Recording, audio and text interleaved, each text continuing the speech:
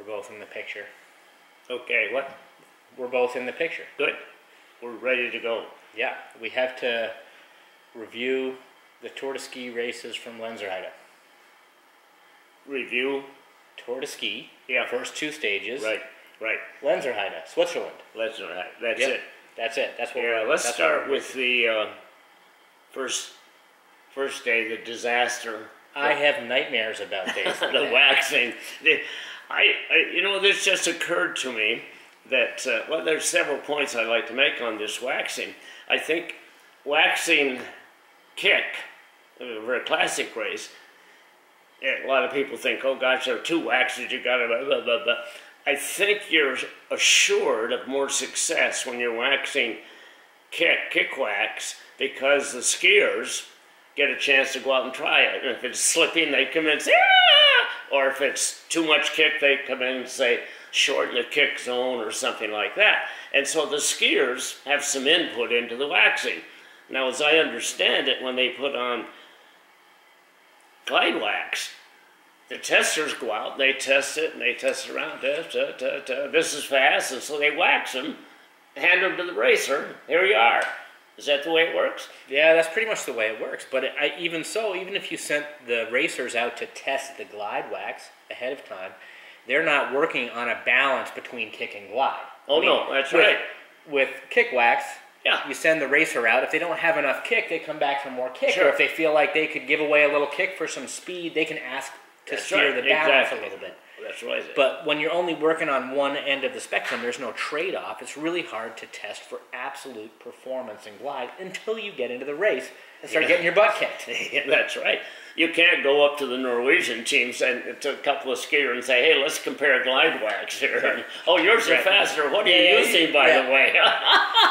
what you can do, however, is uh, look at your test protocols. And what most of the teams do are paired glide outs on a gradual downhill. And the, Yeah. the testing protocols that they use are efficient. They can compare waxes quickly, pick winners quickly, put a lot of material on the snow very quickly, but they tend to evaluate the skis only in the objective terms that they can very quickly. And those are half weight, relatively low speed glide outs in a controlled area.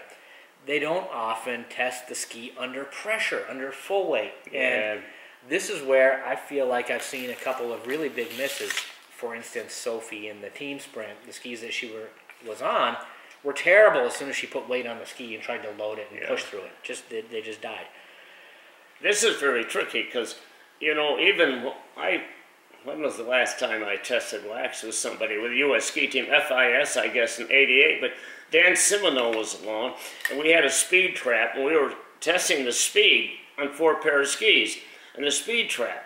And so we went through, bing, bing, bing, bing, one, two, three, four. We ranked them, and we said, let's try it at a different speed. We'll go faster. So we climbed up higher and went through. One, two, three, four. Bing, bing, bing, bing. The results were exactly reversed. and so Yeah. the speed that you use is a big factor. For sure. And if, uh, what do you do? Do you want, do you want, I, well, I don't know. I think I want speed at, at good glide at high speed. So when you get a run out, you're tucked in there and you get a nice run out. But Well, this is very difficult. It depends on the event format. We Well, have sure. to we have to look at uh, how the race is going to be conducted. If it's a head-to-head race, a mass start format, or Yeah. or, a, or an event where people are going to be comparing side by side, you can't beat the psychology of gliding past someone. That's right. That then you know you have fast skis and they feel fast on the uphills. Yeah. But if you're in an individual start, we have to look at the Oh, yeah. skis as though you're. Uh, well, you you need to take into consideration the average speed around the course, and yeah, I saw that. Yeah. well, so put it this way: I don't if think you're, that if works either. If Yeah. you're in a if you're in a class, if you're testing for classic, you're testing for speed in classic. Well, that's yeah. Okay, so let's think of it this way: you're testing for speed in classic. Do you test? Uh, do you just pick the fastest one, or do you pick the one that you can also climb uphill on? Well, yeah. You got Right. Okay. Well, my point about skate is, if you're only picking for the high-speed downhills, you might have skis that are very hard to climb uphill on. That's right. Well, the other thing, the other thing on this testing is, uh, I know the Swiss did this. I never was able to do it because I was waxing. I was all alone. I didn't have any help, no testers, no nothing. But the Swiss, Uli Wenger, my friend, told me, he said, Yeah, well, we put the wax on, then we go ski 10 kilometers on it to see how it lasts. I have a hunch that our wax on Saturday there at, at uh, Lenzerheide maybe uh, degraded after the first lap because it didn't last. Oh, it was already bad in the first lap. They, was it? that was a colossal miss. Yeah. And, and I don't. I'm not being hard on anyone to say that, but that that was a big, big miss Yeah. on multiple levels. There wasn't one thing wrong with that setup. I've seen this happen before. I've been part of it before. I have nightmares about these kind of days. Yeah. Where you wake up and you you head off down a path and you're going the wrong direction, and you make all the right choices going the wrong direction, and you end up in the wrong place Yeah. but you know it, it's uh, it's a huge miss, and really the character of the team is determined by how they respond. Sure. And I have to give a lot of credit to the wax staff and the coaching staff for coming straight out and saying Yeah, that's we right. screwed up. Yeah, that's The good. skis were terrible. Yeah. The athletes are in great shape.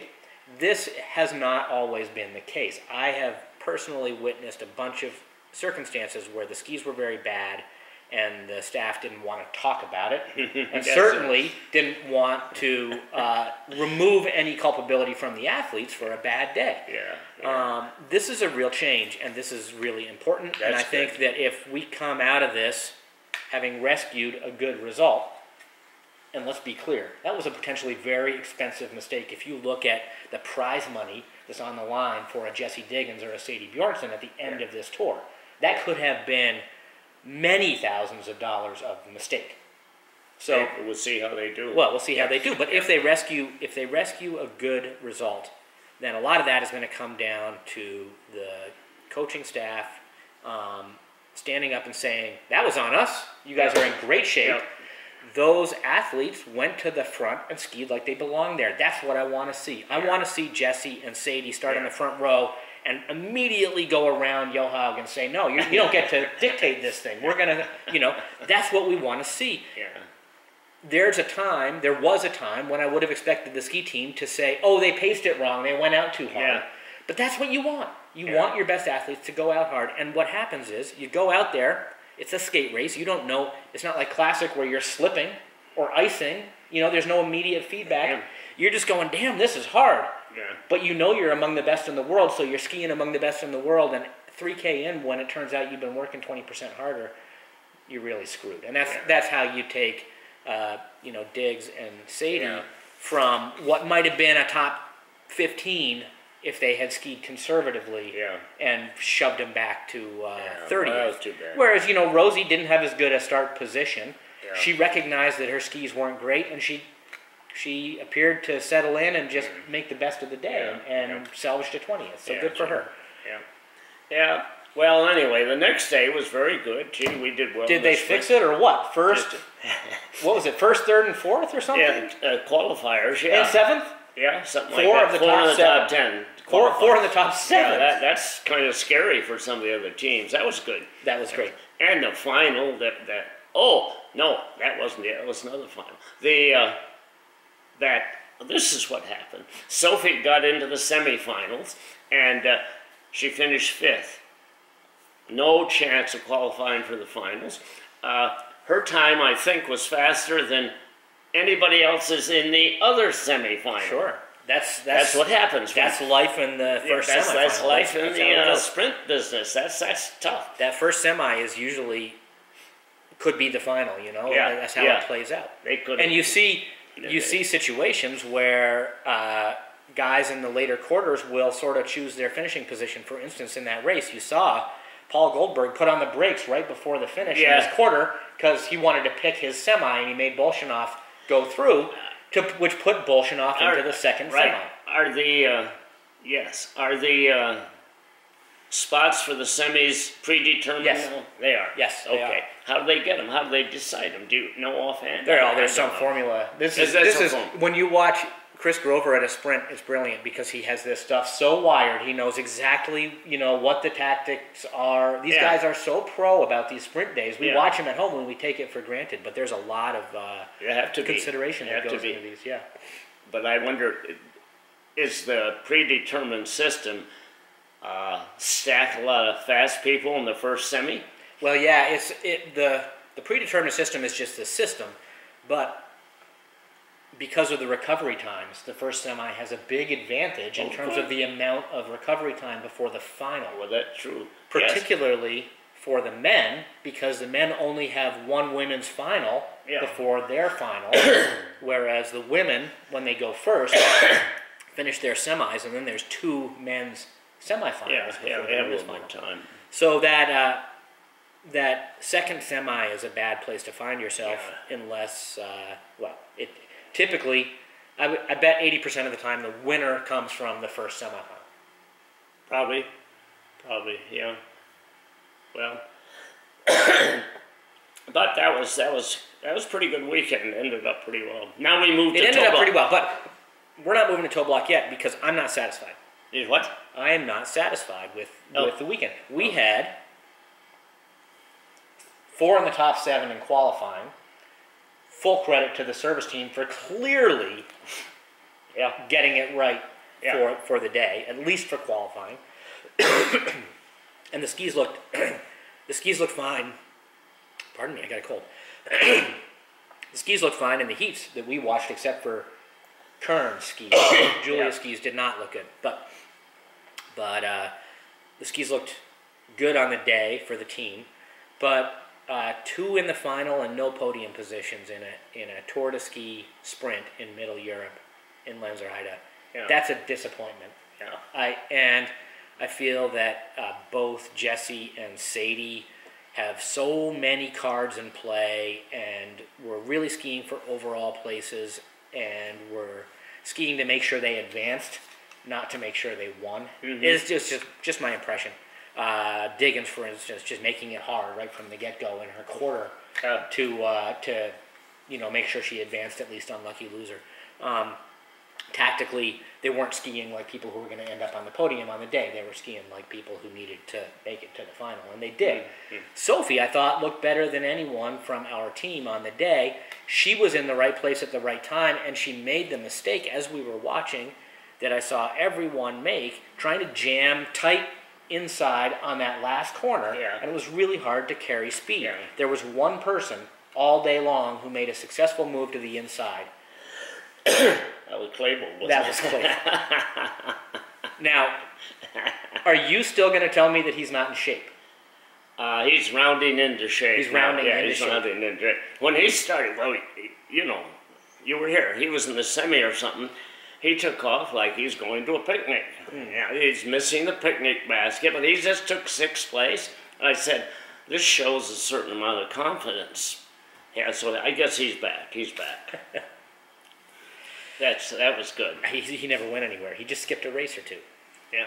I think he's been in very good shape all along, and that was that was. Um, I'm no big Klæbo fan. I prefer when somebody who's not Norwegian or Russian does well. Yeah. Honestly, the sport's more fun to watch when it's not the Norwegians and Russians. nice having Lampic win the women's. That's Yeah, that's sure. A, that that women's sprint was great, and the Swedes, who usually dominate, didn't Yeah. didn't really show yeah, up they there. didn't show up. But you have to appreciate uh, a who is just has got such a head on his shoulders and skis so tactically well. And I, I found Yeah. myself thinking, like, this guy is dominant. Why do I enjoy watching him when I don't enjoy watching Johaug just ski off the Yeah. front of the women's race? Yeah. And it's it's because he's not the biggest. He doesn't have the biggest motor. He's not the strongest. He's the best on his feet, and he's got the best head. He understands how to win races mentally Mm. Yeah. and tactically like almost no one, and it's absolute entertainment to watch. Johaug knows how to win too. Yeah, He just go harder than everybody.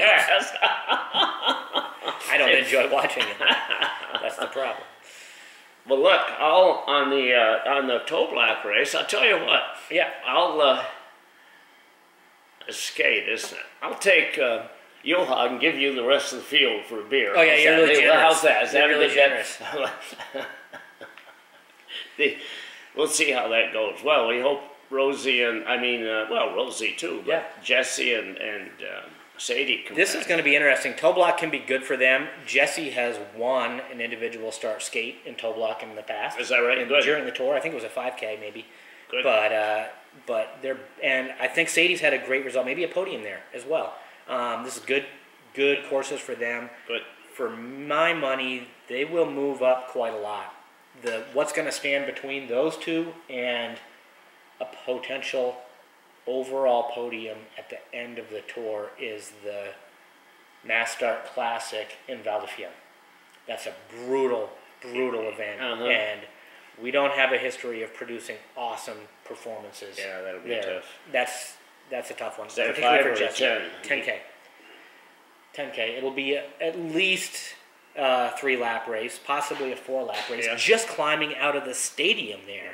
Is a ball buster. It's Yeah, brutal. that. That's it's tough. a really really hard place, and uh, waxing's tricky. I've I've never felt like the U.S. team really climbed on top of kick waxing at Val di at least since. Uh, Jesus, when was Chris fourth in world championships? Randall, there? what?